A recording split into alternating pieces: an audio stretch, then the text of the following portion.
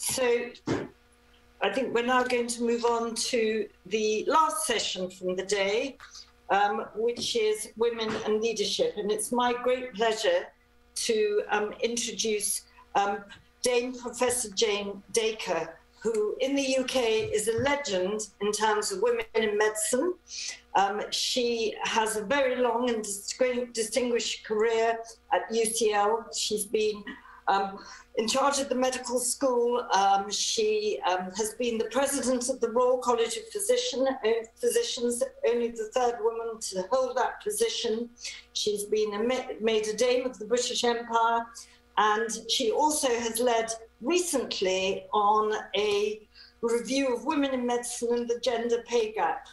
And she's somebody who really champions women as leaders. So it's my really great pleasure to welcome Jane Dacre who's going to um, tell us um, about when women in medicine and the gender pay gap. So over to you, Jane. Hello, I'm going to be talking about women in medicine and the gender pay gap. The three women in this photograph are the three women who have been the president of the Royal College of Physicians. That looks great. However, that's in 500 years. I have a conflict of interest, which is that I'm the chair of the Gender Pay Gap in Medicine Advisory Board for the Department of Health and Care in England. I'm going to be talking about the history of women in medicine, gender inequality in medicine, the gender pay gap, and also reducing the gender pay gap. Well, healthcare began in the home. Caring was a female responsibility until the medical royal colleges came about 500 years ago from then on, physicians were men and women were thought to be unsuited. These two quotes are from 100 years ago. This one says, A woman as a doctor is a conceit contradictory to nature and doomed to end in disappointment to both the physician and the sick. And that was in the Lancet in 1878. This one says women ought not to be encouraged to enter a profession for which they were constitutionally unfitted. And this was Sir Richard Douglas Powell, who was president of the College of Physicians. And that quote is next to Carol Black, who was the second female president of the Royal College of Physicians. There were some women who thought differently from this, but in those days, women did not knowingly accept women into medical school. The first women passed the exams incognito, and actually, when the Society of Apothecaries, another esteemed medical organization, discovered this loophole, they closed it.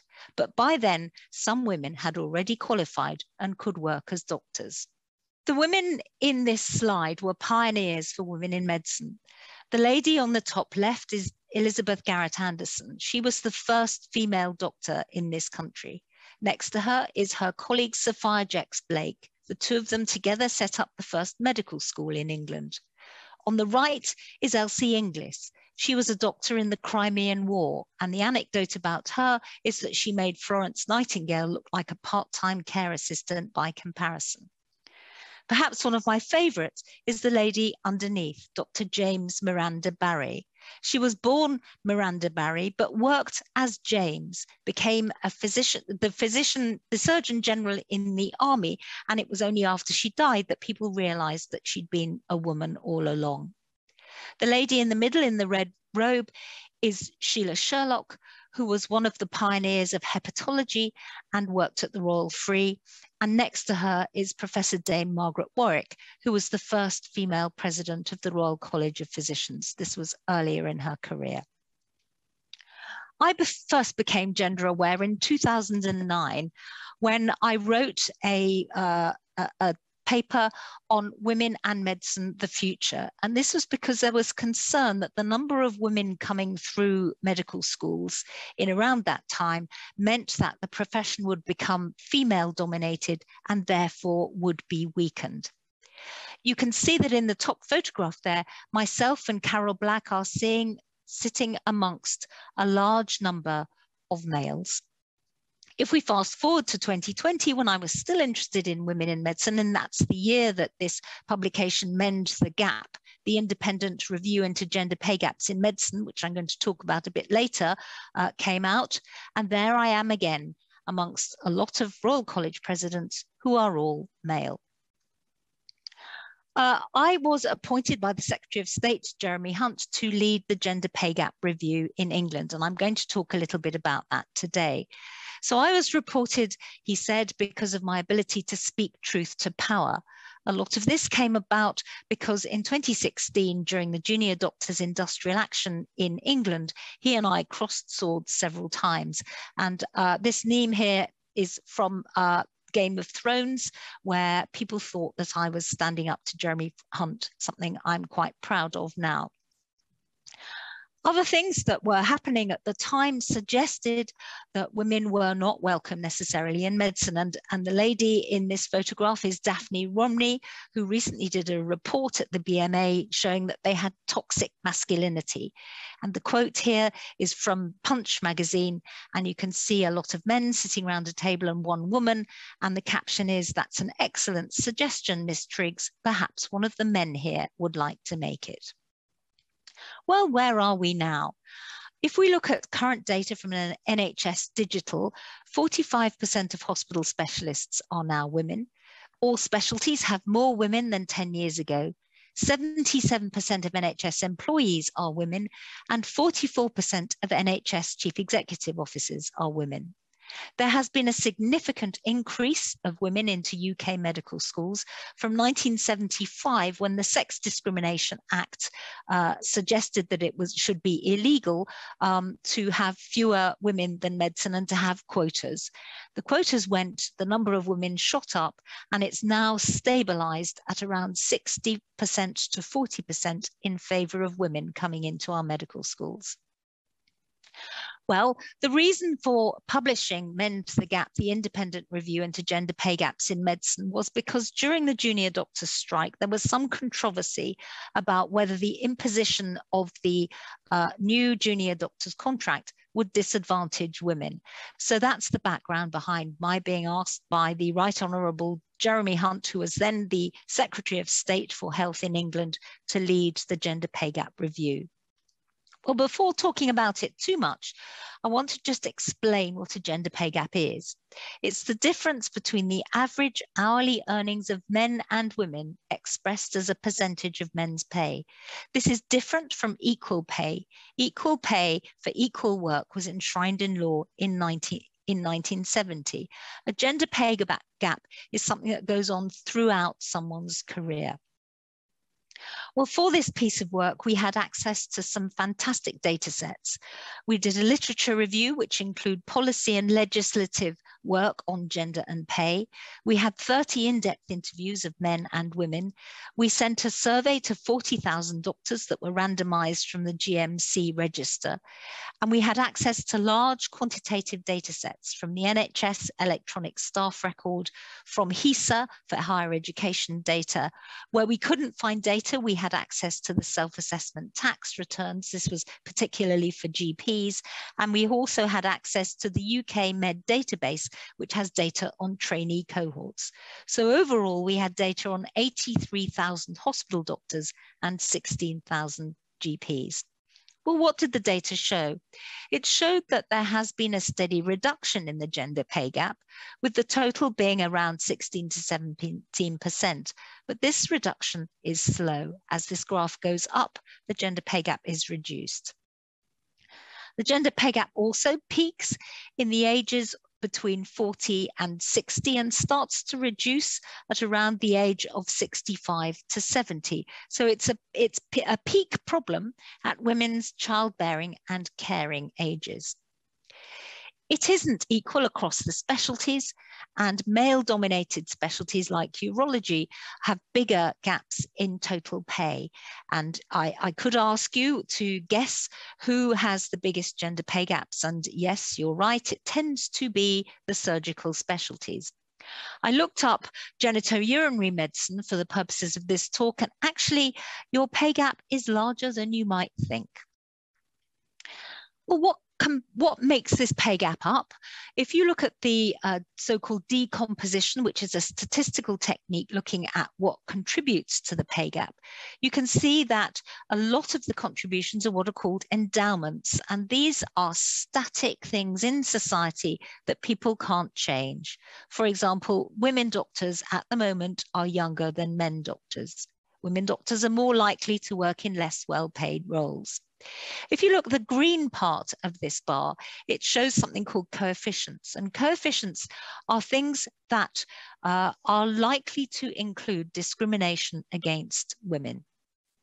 Well, the main contributors to the gap, which you can account for, are age, seniority of men, the specialty, part-time working, which even prorated uh, accounts for some of the pay gap in women. The gender balance in specialty, which I've mentioned, clinical excellence awards, ethnicity, and geography. Well, this is quite a hot potato, more so than I had thought at various stages during my career when I've been interested in gender, I've been invited to speak on the radio or in the media.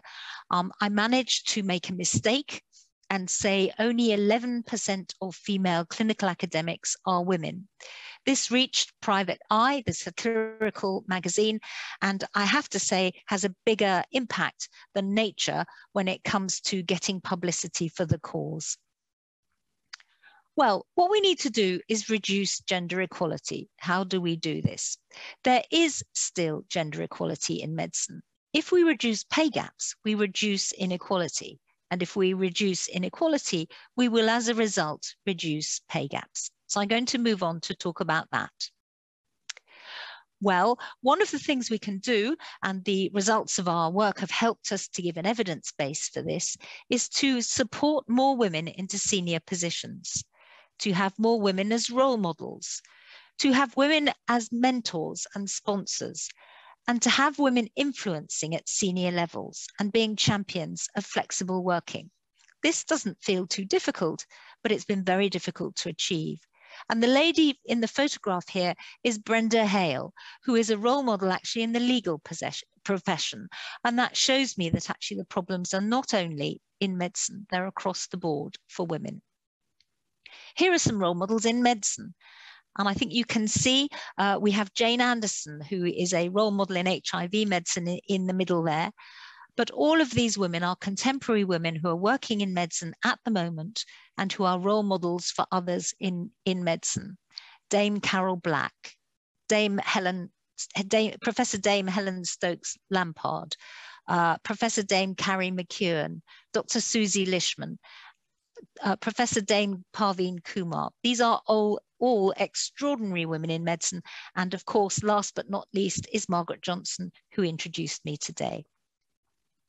Well, the gender pay gap came up with a series of recommendations. There are seven themes across which we have 42 recommendations. And the themes are to make senior jobs accessible and attractive to women, to address system barriers to the progression of women, to increase transparency of pay in the medical workforce, to make changes that were previously nice to have important to have mandatory changes, such as making sure that there are adequate numbers of women on shortlists for top jobs. To change the behaviors and culture and have a zero tolerance to the kind of inappropriate behavior that I talked about in the BMA earlier to work on clinical excellence awards. Clinical excellence awards uh, contribute around 20% to the gender pay gap. It's not a huge amount. However, it's part of the problem. And if clinical excellence awards were more equal, medicine would be more equal. Where I've put other areas of concern, one of the things that we'd like to do in those other areas is to have more open, open um, reporting of gender pay gaps, because what gets measured gets taken seriously. These are things that organizations can do to reduce gender inequality and reduce pay gaps. And you'll notice that those in the green um, are, that are effective actions are actually more difficult to do than those in the blue, which don't work very well. So if you want to reduce your gender pay gap, you need to have mandatory women on shortlists. You need to have skills based assessments for jobs, structured interviews. Salary negotiation needs to be transparent. And transparency also in promotion, pay and reward for jobs, and diversity managers. Now, those are all things that some organizations are doing now, but not all. Unfortunately, a lot of the actions that organizations are taking to reduce gender inequality and gender pay gaps either have mixed results or don't work very well. Well, we've now set up a gender pay gap implementation advisory group, which I chair, and we are beginning to have an effect. I mentioned Clinical Excellence Awards earlier, and I'm very pleased to say that National Clinical Excellence Awards are now, now going to uh, no longer, that they're now going to be uh, paid in full, even though women work part time. This was something uh, that we fought for for some time and that the BMA and the trade unions have been for, fighting for. Gender pay gap uh, measurements will feature in CQC report and will feature in the well-led domain. So trusts are less likely to be seen as well-led if they have a big gender pay gap. There are new contract negotiations, and they're all referencing gender pay gap reduction as part of good practice. There will be regular reporting of progress, and also there is a review of the ethnicity uh, pay gap. And this is to address something called intersectionality, because there are some people uh, that are women and also from a minority group, and they have a very significant impact on their pay in our own way, we've been running courses to try and support women leaders. Um, we are chipping away at this gender pay gap. This we run a course at UCL and also the Royal College of Physicians and the Royal College of Surgeons, and these are three supporters of the course: Dr. Suzy Lishman from the Royal College of Pathologists, uh, Lady Estelle Wolfson, who has funded the courses, and Dame Clare Marx, who is the uh, former president of the Royal College of Surgeons and also chairman of the GMC. And they are supporting courses run specifically to help women. Recently, these courses have been focused on, focusing on women from minority ethnic groups because, as I've said earlier, they have a bigger problem with gender pay gaps. There's also something called the Women Leaders Network, and this has done a piece of work working on gender balanced boards in the NHS. And they wrote a report called 50 50 by 2020. Sadly, boards did not reach 50-50 men and women by 2020, but there has been some progress. This organization also published a document called Men as Allies, reminding us that as women, we shouldn't be going it alone. We ought to be working with men as supporters to try and reduce inequality. The lady here is the chair of the Women Leaders Network, and she's called Samantha Allen. Well, one of the things that's really important about uh, working in gender is keeping your own um, self-respect. And this is my favorite quote in relation to gender equality and to feminism. People often ask me when I'm talking about gender whether I'm a feminist. And I refer to this, which is that I say, I myself have never been able to find out precisely what feminism is. I only know that people call me a feminist whenever I express sentiments that differentiate me from a doormat. So I would say to every person in this room, be a feminist, be somebody that expresses sentiments that differentiates you from a doormat. Make sure that you look at the evidence and you use the evidence that we're collating to reduce inequalities for women in medicine and therefore to reduce the gender pay, the gender pay gap. Gender equality still exists in medicine, but as I've said today, women play an increasing role in medicine, and that role will increase further. But we need to get more women to reach the top of the profession, like the three women, myself included, in this photograph here. The gender pay gap will reduce, but at the moment it's reducing too slowly. We need to work on evidence-based actions to make it reduce more quickly. Because of the work that we've done in the Gender Pay Gap Review, we have the opportunity to make evidence-based change. We have a large number of organizations now working together on the gender pay gap, on equalities, to try and reduce that. And we're going towards having annualized reporting as a measurement of change because the measurement of a reduction in gender pay gaps is a measurement of a reduction in inequality for women. So I call on you to recognize that the time has come to embrace a new culture because the medical workforce needs its men and its women. Times are very difficult at the moment. There are all sorts of things going on. Now is the time to embrace gender and other kinds of equality so that we have the whole workforce working to the top of its game to help support our patients. Thank you.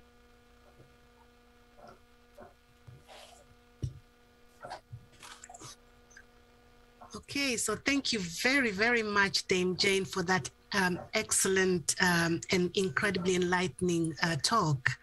Um, we, we, now have an opportunity to take questions from the audience, and I just I'm just looking in the chat, and I've seen at the moment there aren't any questions. Um, perhaps Margaret, do you have any questions to start to start us off?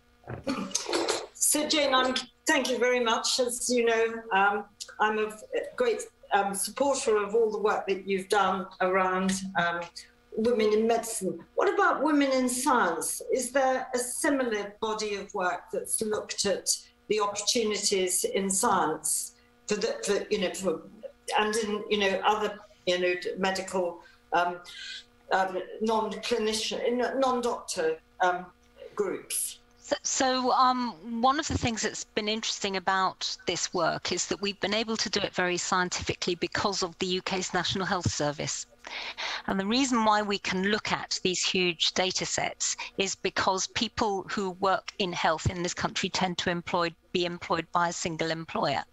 So there is there is mandatory reporting for organisations that are uh, bigger, have more than 250 people, but um, you we're not able to get that degree of strength of um, evidence from smaller organisations, and so uh, there is evidence that if you if you look at the the gender pay gap data in um, organizations, particularly in science, there is a significant problem. Um, but it's not, the data isn't as strong as with the NHS purely because the power is less. We had extraordinary power in the work that we did because there are so many people that work in the NHS. Yeah, that's interesting. Maybe I'll ask you something else as well, which is, you know, clearly we've got a long, lot of young people. The great thing about this meeting is we have a lot of um, young scientists and clinicians, um, as well as our patient population who um, um, uh, put in abstracts and give talks. And I think maybe just a little bit about how you grow into being a leader. I mean, you've been, you know, somebody who, you know, we can learn so much from. I mean, at what point did you, you sort of decide to go from being, you know, just a clinical doctor into leading in medical education, and then subsequently getting involved in, you know, improving healthcare um, and fighting the likes of um, um the government. Um, I never, I never intended to do it. So that's the first thing. But I did see a lot of things that needed to be sorted out. And so, what I uh, had tended to do was to see things that were really silly and could have been done in a, a, much more effective and efficient way. And then I set about sorting them out and realized that uh, it's hard to sort out small, medium, and large problems from a, a, a position where you don't have enough authority. So, if you then are at the table and in a position of authority, you're more likely to be able to solve problems. So I never had a Churchillian instinct. I never wanted to be a world leader, but I did want to sort things out. Uh, I now know that that's a particularly female way of looking at leadership, that you just say, oh, this is ridiculous. Come on, there must be a better way of doing it. And that's what I've always done. I've looked around now for things that needed to be done better and um, have been sorting out, tidying up, getting things going rather than being, right, I'm in charge, I want to be the boss, because that just wasn't really my style. Thank you very much. So I'm going to take the chair's prerogative and ask you a couple of questions, if that's okay. Um, so along your journey, um, I'm sure you must have encountered a number of challenges. I just wanted you to perhaps speak on maybe two or three challenges that stand out for you, and then how you solved them or how you dealt with them. Um, so some challenges are to do with being the only woman at the table. Um, and one of the difficulties there is feeling strong enough to be able to voice your opinion when actually you're likely to be in the minority. Mm-hmm. Um, one of the ways that that I've found quite helpful to do that is to to to find a friend in the room mm-hmm. and to work out who might be on your side. And one of the things that's helped me overcome challenges with people uh, really maybe being aggressive or being unpleasant to me is to work the room. Mm-hmm. And I learnt those skills from um, being a medical educator. Mm-hmm. So, dealing with a difficult group of a large number of people, for example, the council of a big organization, um, simple classroom skills are terribly helpful in getting people on your side, getting the people who behave badly to behave a bit better, um, and and to, uh, to to get what you need done going through. So so that's one challenge is which I which is that I would advise everybody um, who wants to go into leadership to learn some classroom skills because it's very helpful at uh, managing meetings. Then another, um, just a, a, a, second one very quickly, Please. is being true to yourself. That if you think that something is really wrong and you have very strong views that something isn't right, then collect the evidence so that you're on safe ground and just gird your loins and speak up, um, which is not always easy. In fact, not ever easy. Thank you very much. Those are incredibly uh, important uh, points. I've actually noted them down. I'm going to be using them from now on. and uh, as we've been talking, we've actually have a, a, comment and a question from the audience. I'm going to read the question first, and then I'll read the comment afterwards. So the comment, the question is from. Oh, there are actually three now. Uh, the question is from Mel and she says, "How can we women living with HIV, how how how, as women living with HIV, can we lead in the community in leading community organizations, especially as we are now in the majority of people living with HIV?" So I think being in the majority is a huge plus. And so, what I would say is develop your networks, speak to your allies, uh, confide in what you might call the sisterhood, because together everybody everybody is stronger. Um, so so where a community recognizes that it has a set of shared needs and it gets together and voices those needs. Mm in in harmony not necessarily singing with one voice but in harmony like a choir then you can make enormous progress. So sing together i would say Thank you very much. I'm, I'm glad you said that we actually belong to a choir called the Joyful Noise. So we're going to carry on singing together. Thank you so much. I have another comment, a um, couple of comments, and then a question from Sharon. So the comment is from Annette, and she says, I'm really grateful that you did not avoid to use the word feminism in your talk. There should be more, many more female and male feminists in medicine. So that's a comment from Annette. And then we have a comment from Lena. She says, It is important that we as women start talking more about our pay. We need more transparency in pay, and we also need to be advocates for ourselves and other women.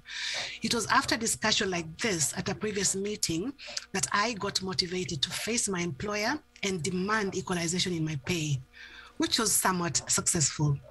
And then we've got a question from Sharon oh, they're coming in now.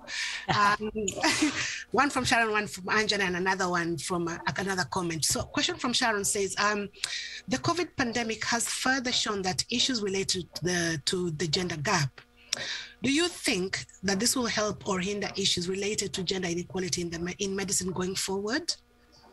Um, so the answer to that is is yes and no. Um, so when there were big lockdowns, the societal expectations on women meant that the responsibility for homeschooling kids who couldn't go to school fell almost exclusively on women. And during that time, men got on with writing papers in their studies upstairs, and women got on with uh, looking after the children, homeschooling the children, and making the suppers. So people reverted to the the um, gender stereotypes. So that made things worse. However, something that's made things a lot better is conferences like this. So the enormous developments in IT and in flexible uh, ways of working has meant that organizations have recognized that presenteeism isn't necessarily the only way to do things and that you can actually work equally hard eh, across time zones, um, sitting in your in your living room and you can deliver just as much uh, as you might have been able to do otherwise. So it's not quite clear yet which of those is going to win.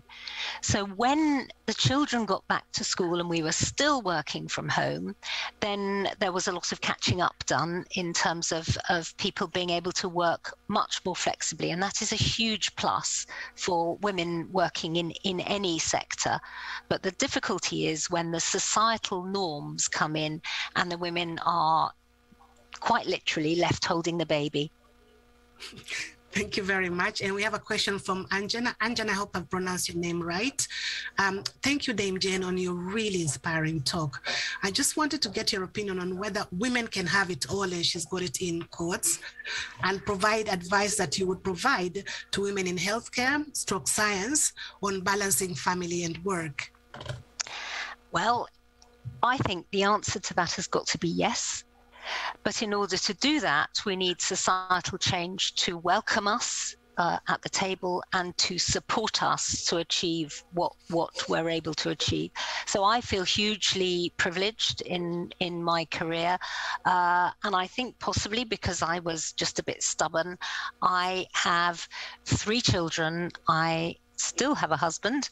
Uh, I have had a, a, charmed career. I've been extremely lucky. Um, I've now got grandchildren and I am not giving up. And I feel a huge responsibility to show anybody in this conference that if you want to do this, you can do it. There should be nothing to prevent us from doing it. Now, there are barriers, but they, we also have choices. So when there's a barrier in the road, you have a choice to go round it. So I would say be strong, be creative, and try and get around those barriers because uh, having it all is great. Okay, thank you very much. And I'm going to finish with this comment from Lila, which I think echoes what a lot of us feel right now in the room. And then I'm going to hand over to Margaret to close the session. So Lila says, I have a, re- a new role model. So do I. Thank you for being so inspiring. Thank you for this talk. Love it. Thank you very much, Dame Jane, and uh, over you to, Mar- to Margaret. Well, just really, James, thank you very much. I knew that you would inspire so many um, of the young people at the meeting here this evening. And as I know, you've inspired so many women in medicine um, and actually probably in women, you know, across all sorts of careers. So thank you for all the work that you've done really to promote women. And um, I'm sure that we're all very grateful to have you here tonight. Thank you very much. Thank you very much.